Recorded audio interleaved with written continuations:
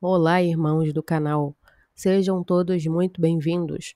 Hoje trago um vídeo repleto de revelações extraordinárias concedidas a uma santa notável.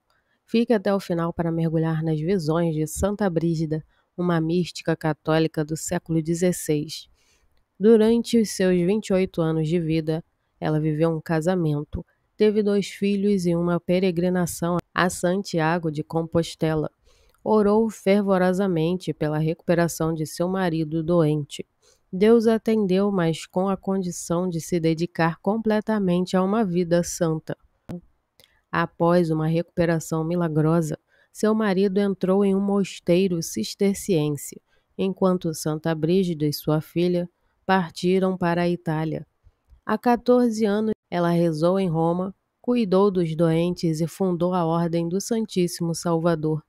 Durante essa intensa jornada religiosa, ela extraiu suas experiências e revelações místicas. Vamos explorar uma visão específica de Santa Brígida, onde ela viu no céu uma casa de admirável beleza e magnitude. Dentro, um púlpito com um livro capturou sua atenção. As cores eram como raios de sol, vermelho, branco e ouro resplandecente. A explicação divina revelou que o púlpito representava a Santíssima Trindade, Pai, Filho e Espírito Santo. A incompreensibilidade das dimensões simbolizava a infinidade de Deus. Cada cor representava uma pessoa da Trindade: vermelho para o Filho, branco para o Espírito Santo e ouro para o Pai.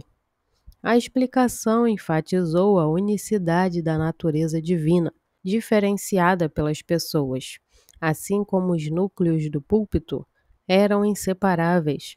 As pessoas da Trindade compartilham uma vontade, eternidade, poder e glória. Com o compartilhar dessas revelações profundas, espero que tenham sido tocados pela espiritualidade e sabedoria contidas na vida de Santa Brígida.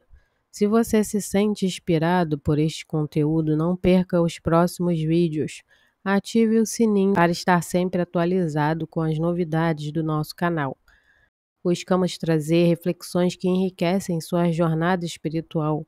Cada visão e revelação de Santa Brígida nos registram a grandiosidade e o mistério da fé católica.